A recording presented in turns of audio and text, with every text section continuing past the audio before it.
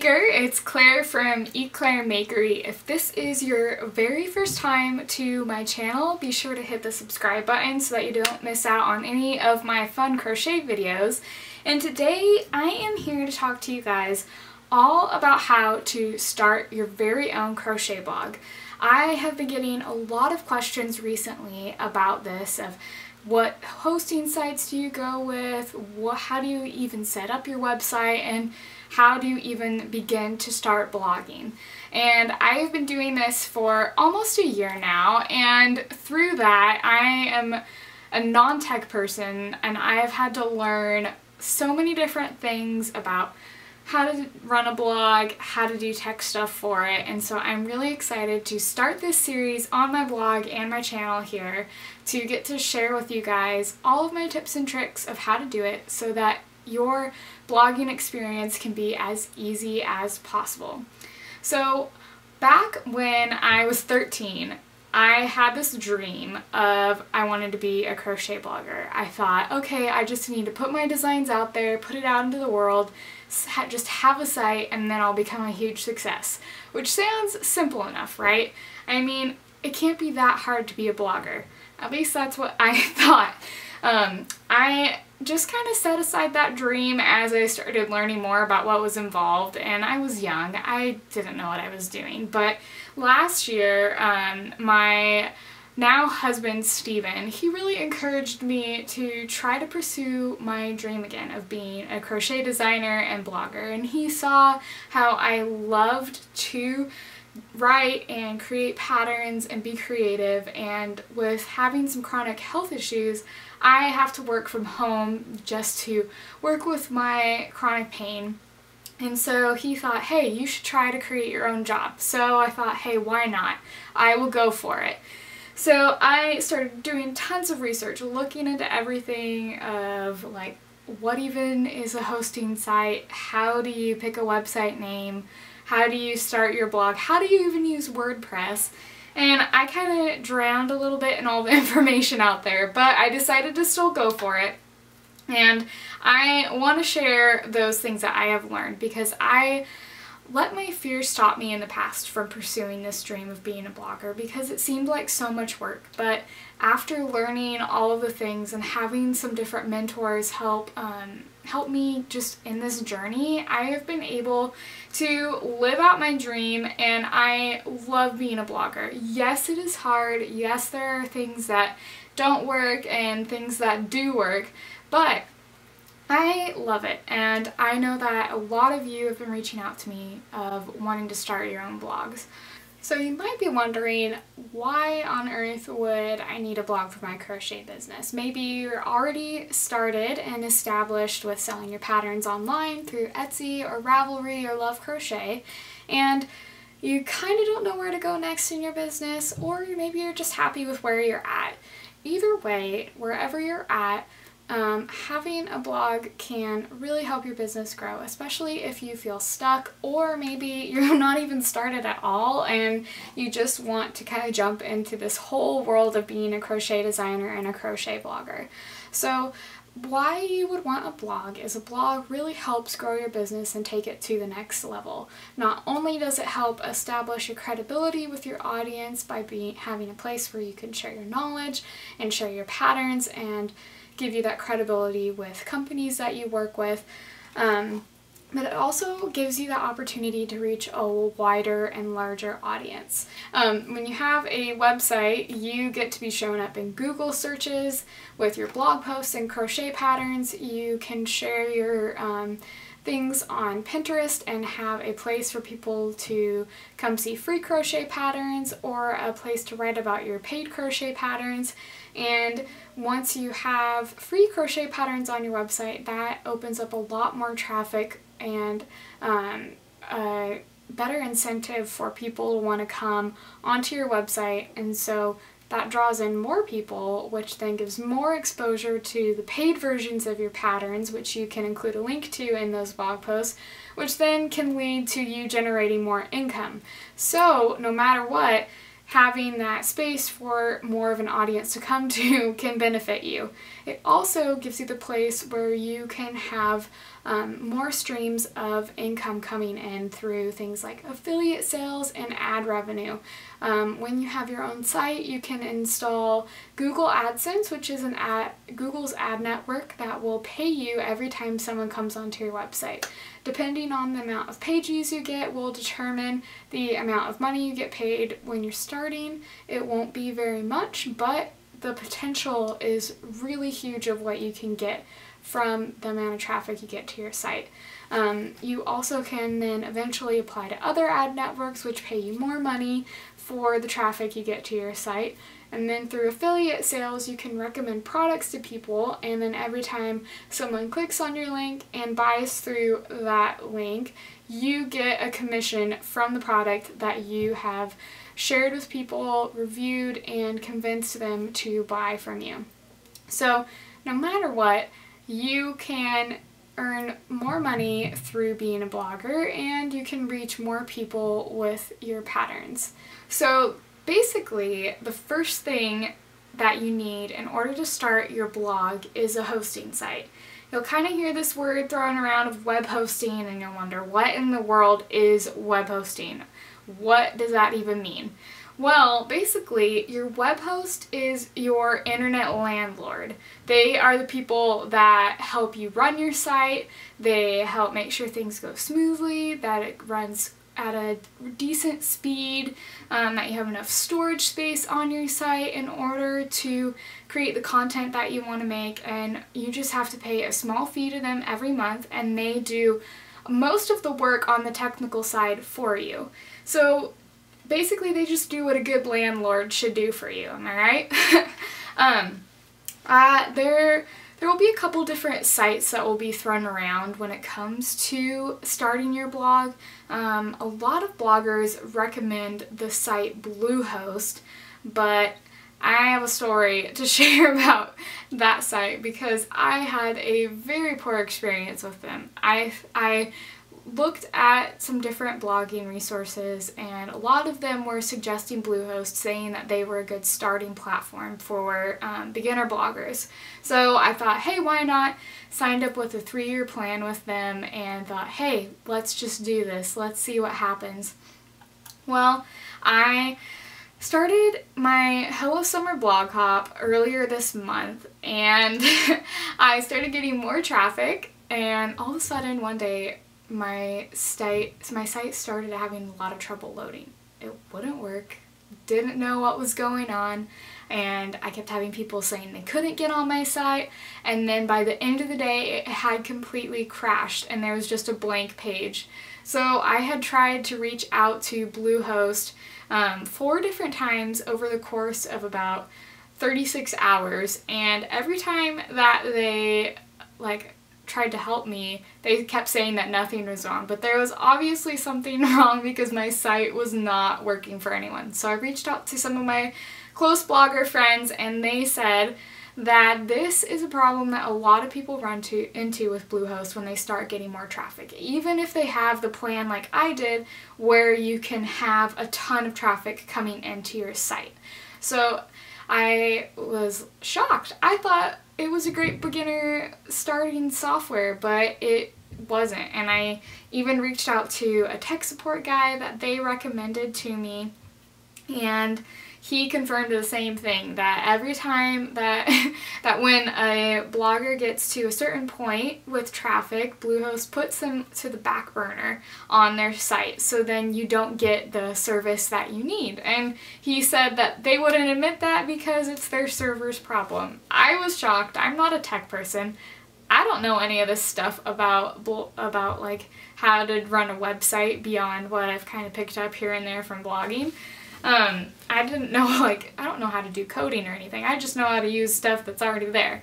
Um, but he recommended reaching out to the site called SiteGround, and they are another web hosting service that I have come to really love. I reached out to their support team to say, hey, this is what's going on with my site and they confirmed they've been getting a ton of people switching over to them from Bluehost because a lot of people are having the same issues that I've been having. Um, and I was like, hey, I'm desperate. I don't know what to do. They won't help me. What, what should I do? And they were able to help me set up a plan with them. Um, they switched over my WordPress site from Bluehost to theirs. I didn't have to do any of the technical stuff. They helped me fix my tech issues and get it all done within less than 24 hours. It was amazing. It saved my life in the middle of my huge blogging event that I was doing. Um, then the story just keeps going on. When I reached out to Bluehost to ask them for a refund, they would not give it to me, even though I had over two years left on my contract with them. And I told them, hey, I had tried to reach out to you guys and it, stuff wasn't working. And they were like, well, sorry, you didn't use the right words in order for us to expedite your ticket for your site. So I didn't know what words to say. I didn't know that I had to say specific things. I just thought that they were going to help someone who was tech impaired like I was, but they didn't. So why am I telling you all of this? You might want to skip it, but I just want you to know my experience with Bluehost so that you can get the best service for your site that you possibly can. That is why I wholeheartedly recommend using SiteGround. If you've looked into those two different sites before, um, SiteGround has the same exact pricing, which is around $3.95 a month for a starting plan for web hosting and they offer better service they help you uh, they go above and beyond what you need them to do on your site um, and they respond super quickly and they always find the issues that are going on with what's going on with your website and I haven't had any issues so far with now that I've switched over to them um, basically, you just want to make sure that when you're starting out blogging, you want to find a company that is going to work with you and make sure that you get the best service possible.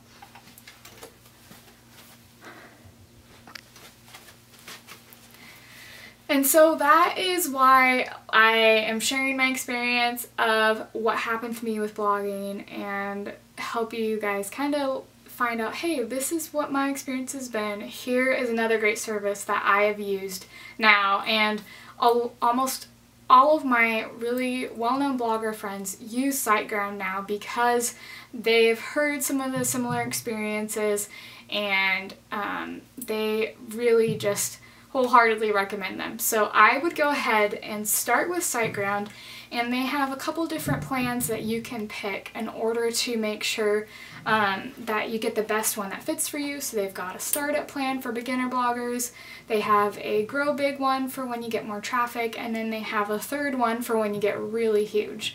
So I would recommend going with the startup one just because when you're first starting out, you don't really need a ton of space or a ton of traffic availability because um, it's going to take some time to get that traffic to your site. But if you start feeling like, hey, I need to switch, SiteGround is really great with helping you switch to the next plan, and it's not that much more money. Basically, if you just don't go to Starbucks or to a coffee shop once during the whole month, you'll have paid to have your website for a whole month. And I would recommend doing a one-year plan with them just in case you realize, hey, I'm not really huge into this blogging thing. You pay for your year service all at once. So for the Grow Big plan, it's about $90, um, which that might seem like a lot for a startup cost, but I started with Bluehost with a way more expensive one. Um, and with the cheaper plan, it will be a little bit less than that. Uh, and also, you just want to start from having a good hosting site from the beginning because they will allow you to have your own domain, they will help allow you to have your very own space on your blog, and then you'll be able to make it your own. And you really want to have a blog because they it's your place where you can be you. You can customize it to represent your brand. You can um, list your products. You can create blog posts to help other crocheters or other business owners. You can share your free crochet patterns. Basically, it is a site that represents you and what you want to do with your business. And if you have your own site, a lot of big companies really like working with people who have their own websites because it shows that they have an authority in the place where um, in the niche that they are working in. So if you go to a free web hosting service, they are going to put their website name within your web address. So it would be like mycrochetbiz at .wordpress.com. So it's not going to just be mycrochetbiz, which would be your business. It would be their business along with your business. If you go through a hosting site, you are able to have just your business, it's just you, no one else, and you can name it whatever you want and make it fit your brand exactly how you want it to be. So you might be wondering, okay, so now I'm convinced to want to start a crochet blog, so where do I go?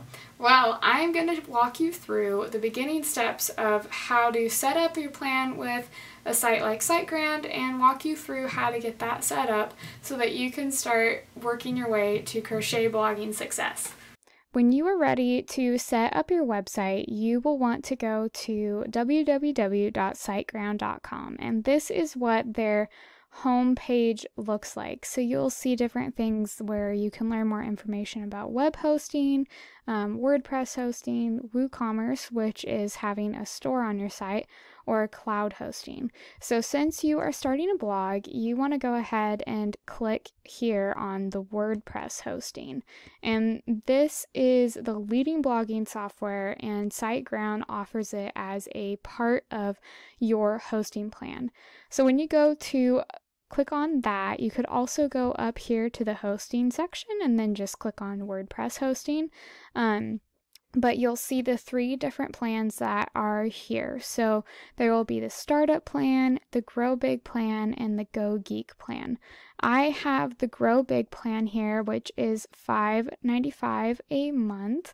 Um, this is a great deal if you are already have an established website and you are trying to grow your site to get bigger. I um, moved up from this one to go to here. Um, but this is a great one to start, especially since you'll only be starting out with probably not much of an audience, but this gives you a ton of flexibility to build up your audience. So you get one website as a part of your hosting plan.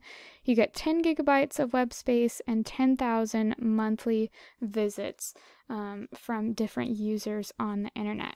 It also comes with these different WordPress features. So you'll see things on here like free WordPress install, um, free SSL certificates, free email address, daily backups, WordPress updates, 24 7 WordPress support. Basically, it gives you all of the features that you need in order to confidently start your blog. Um, if you want to say go for it already and maybe you have an audience that you know will want to go to your blog, you can go ahead and start with this. But as a beginner, I recommend doing the startup plan for sure. So once you have picked out your plan, um, such as a startup one, then you'll click here on the Get Plan button and it will take you to this screen right here where it'll ask you to please enter your domain. So your domain is your website address. This is the name of your company or the name of your blog that you are choosing. So you want to pick something that best represents who you want to be as a crochet blogger and kind of the vision that you have for your business. So my domain name is www.eclairemakery.com.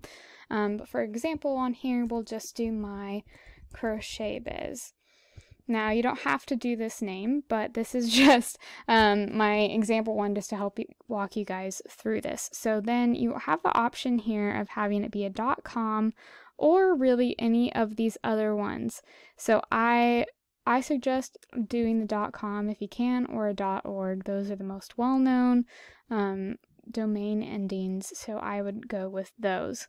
Now here on the bottom, you'll see this part that says domain registration. So what that means is that not only will SiteGround host your website, but they will also host your domain name. So you If you want to have your own domain name, you do need to pay for that so that it does not have another company's um, business name within your website address. I think this is a great deal for just getting it. You just pay it once a year and you don't have to worry about this at all again for an entire year. So, say this is the name that we've picked and you click proceed, you can click on here. And so then we come to the part where it says, okay, hey, your domain name was available for registration. If ha it has already been taken, then you will have to choose a different name. Um, if it's not exactly your business name, that's okay as long as it's as close to your business name as you possibly can get it. So then what you'll do is you will fill out all of this information on here, like your email address, your password, client info, payment information, and then down here it will show you basically the package that you are getting through SiteGround. So we have selected here the 12 month period. You can also get it for 24 months or 36 months. I think that it's still that for a beginner blogger to go with 12 months. You can always increase your plan to be for longer, but when you do buy these larger plans, you do pay for the full amount right away. SiteGround also has the option where you can do a trial for one month to see if you even like doing it. And then you don't have to pay the full amount, but you still get the experience and you can always upgrade your site later. So it will tell you down here what your um, hosting price per month is and what it regularly is on here and what you will be billed for. Um, it's only $47 to get this, which is great. Um, if you got the domain registration, it will be another $15.95. So it'll show up here as the total will be $63, which for getting a website service, that is awesome.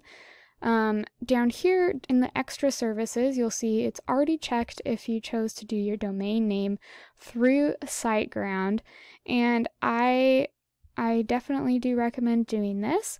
You can also have the option of doing domain privacy. So if you want your um, personal information to be private and as well as your domain, then you can get this so that you have domain privacy and your information is not out there. One thing that I do recommend getting, which I have myself, is the SiteGround Site Scanner. This is a daily monitoring service where SiteGround will scan your site to see if there is anything wrong, such as it being hacked or injected with malicious code, like it says here. And they once they find something, they send you an email right away so that you can take care of it and contact their support to have them help you fix the problem. This is really awesome to help kind of take away that worry of having to monitor your site all the time to make sure that nothing is wrong, and they do all of the work for you. So once you have entered all of your information up in these boxes up here and chosen um, your period with hosting with them as well as any extra services you want, then you will click down here to say that you've confirmed that you agree to their terms and services and then that you would like to receive your SiteGround. If you want to get emails from them, you don't have to click on this, but if you do want to get um, notifications from them about their newsletter, then you can click here. I don't have it, so you don't need it. Um, so once you have done that, then you will have officially bought your website. Once you have set up your account with SiteGround, you'll want to log in, and this is what the homepage of your SiteGround user dashboard looks like. So it has all of these different tabs that say different things about your account, um, as well as if you want to become an affiliate with them, it'll have a little spot where you can go to their affiliate area. Um, so what your next step is going to be is you will need to install WordPress onto your account with SiteGround. Now, if you feel like you are really good with tech stuff, you can go to their site. They've got a how to install WordPress manually on your blog tutorial. And this just walks you through everything like how to upload the files to your server, doing database stuff, going through installation things. Um, but if you're kind of like me and you're not really a super techie person, you can go to the support section here on your user dashboard, which will look like this. And so it'll have this spot where it'll tell you, okay, you can go back, this is the home area, and then it'll have this spot called view my tickets. And tickets in with SiteGround are essentially just support things that you need help with from their staff. So they will, you'll say what you have an issue with, and then they will do something for you. What they also do as a free part of their service with you is that you can have them install WordPress for you, which is super great and it takes a lot of time off of your hands. So once you click on the application installation button that was on your homepage of the support area, it will look like this where you can select um, that you want an application installation, and then you can select your account that you have, and then pick out which application that you want them to install for you. So you are going to want them to install WordPress, and if you plan on having a store on your website, you can do WordPress plus WooCommerce. WooCommerce is WordPress's um, e-commerce site that creates a store for you, sets up payment things, shipping stuff, and just makes the process of having an online shop through your WordPress site a lot easier. So once you have picked out which application or applications you want them to install, um, then you will just fill out this information. It'll tell you um, that like it, on this first one it has a little asterisk so you know okay this is what this actually means then you will just put this stuff in there for them to do, and then keep in mind that it will take maybe one business day for it to be installed and get set up for you on your site. But I really recommend doing this if you're not a tech person because I had someone do this for me and it makes it a lot easier so that you don't have to worry about learning how to set up WordPress or learning a bunch of coding stuff. So I really like doing this.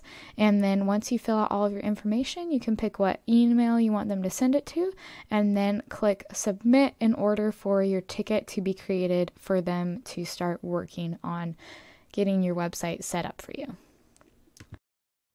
So once you get the notification from SiteGround that your site is installed, then you're going to want to go to your the My Accounts section on your SiteGround dashboard.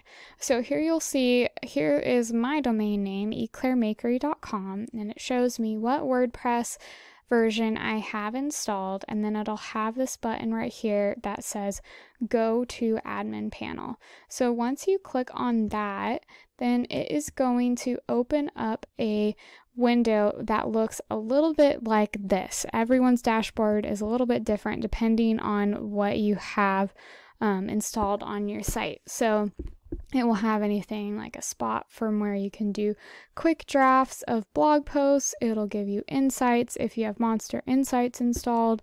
Um, it'll give you a glance of what your, how many posts you have, comments, pages, different things, as well as WordPress events and news. And then here on my spot right here, which I really like this, there is a plugin called Jetpack. Um, usually it is installed for you already. And this tells you all of the top searches that your site has had with your SEO and what people have clicked on in order to get to your site. And as well as it'll have this spot here that tells you how many page views per day you had, as well as what was published on that day. So if there's nothing published, it'll be a little bit smaller. And this will just show you the different traffic that you have on your site. So here it will tell you your top posts for that day and how many views you had on each one. And on the side here, you will see this huge bar that has all of the different sections of your WordPress dashboard. So when you go to something like posts, it will have a spot for you to create your blog post. So here is mine. This is what my um, posts look like. I have things like SEO, SEO descriptions, as well as the categories it's in. And if you want to add a new post, you just click here on add new and then you can write it up right here. Um, but what we really want to go over when you have just started your site is you want to scroll down here to appearance and then click on the themes. So here on the themes, this will show you all sorts of different um, themes that are available for your site to look like. So I have a the theme Daisy and this is a really fun simple um, template that I got offline but you can also get templates through um, your hosting service or just through WordPress and there are a bunch of really good free themes that you can get so you can just browse through all of these and you can look and see, okay, which one is going to fit my site. You want to have something that is clear for your audience to view, um, and you can always comp- uh, customize it a little bit more as you keep going. So you can also um, like click on here. This is a business craft theme. If you click on it, it will tell you, okay, here's what kind of the homepage will look like. And as you scroll, you can your blog posts will show up like this. And this is just a preview of what your site could look like with that theme. Or you can go to the next one, and this is what the gym theme will look like, and then you can just close out of it when you are done.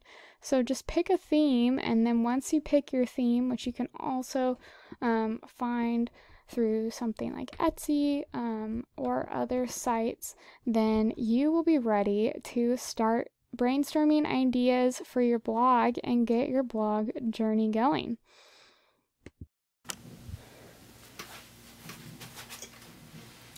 So I hope that you really enjoyed this video and it helped um, take you that one next step towards becoming a crochet blogger by setting up your website and getting that all ready to go.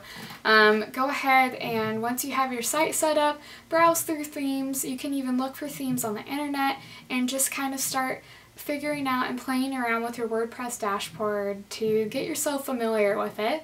Um, in the rest of my series, I will be helping you go through different aspects of blogging, such as how to write up a blog post, how to design things in Canva, such as blog graphics and Pinterest graphics, how to promote your site on something like Pinterest, um, as well as how to set up a newsletter for your newfound blog.